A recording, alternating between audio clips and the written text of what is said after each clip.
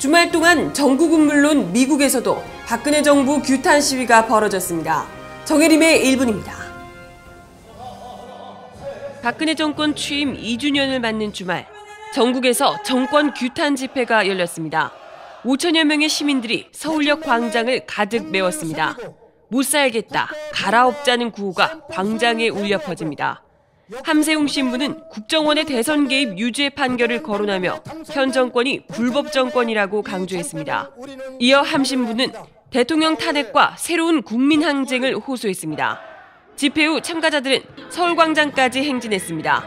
행진 도중 정권을 비판하는 유인물을 뿌리기도 했습니다. 국내뿐 아니라 미국 전역에서도 박근혜 정권 규탄 집회가 열렸습니다. 미국 내 한인이 있는 도시 전역에서 동시다발 집회를 열고 정권 퇴진을 외쳤습니다. 정혜림의 1분입니다.